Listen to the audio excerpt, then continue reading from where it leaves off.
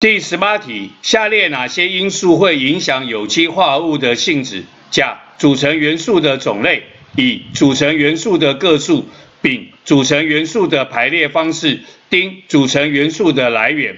我们在过去说，我们是不是同一种物质，影响我们的性质的是组成元素的种类跟组成元素的个数。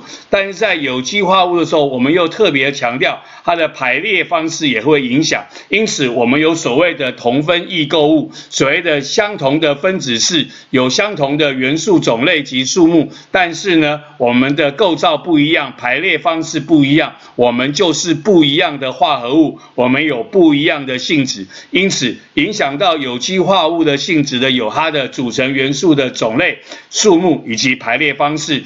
第十八题问我们说，下列哪些因素会影响有机化合物的性质？我们答案选的是 A，钾、钾、乙。